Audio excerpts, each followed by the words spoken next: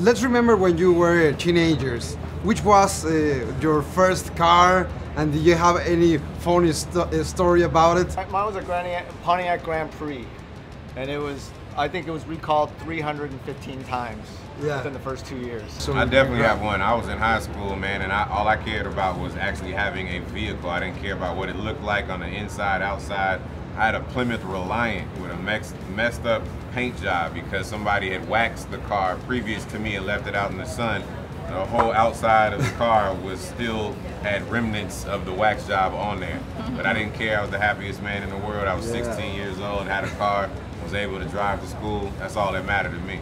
I didn't have my license when we got this movie. I don't think Michelle had her Yeah, license. I got my license for the movie. I learned to drive on a track. Yeah, and Really? I, I was growing up in New York. I was like, I don't need a car. I love taking cabs or the subway. Um, and now that we're in, in LA, you know. Everybody I- lives yeah, in their car in Los their car. Angeles. Yeah, I Right, know. right. Please tell me that's not a Pontiac Fiero strapped to a rocket engine? Impressive. I know. No. No, that's that's not impressive. 80, 84 Cadillac Coupe de Ville. I got it when I was 14 and a half, so I couldn't even drive yet. And I smoked the transmission by the time I was 15 and a half, and it's an automatic. So uh, I, I learned to drive before I could drive, and I'm grateful for that. All right, Dom. What's next? I had a uh, 83 Cutlass Ciera, license plate number 1HNA540. wow. I remember it. The only license plate number I remember. Very excited. Same like Chris in high school. Got my license at 16 and um, just couldn't believe that I had the independence to be able to say I don't want to be somewhere and leave Wow.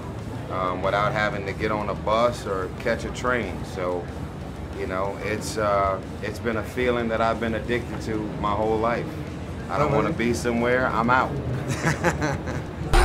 Smarter than Dom. Stronger than Dom. But could you kill him?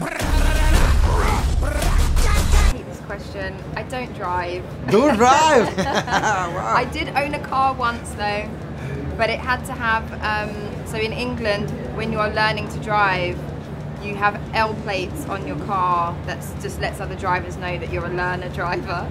So I had a car that I owned that had L plates on, and I could drive it when somebody who was over 21 and had had a license for like three years could drive. Like I could drive as long as in the passenger seat there was an, like a qualified driver. So I had that car for a few years, but it was a, a Peugeot, a Peugeot 206. There's nothing more powerful than the love of family. But you turn that into anger, there's nothing more dangerous. I got this, my first car was a 79 Monte Carlo, and I bought it at an auction in New York City.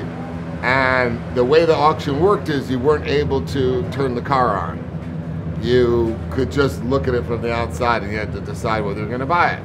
I bought it for $175. And as I was driving home, there was a huge cl- cloud of blue smoke behind me.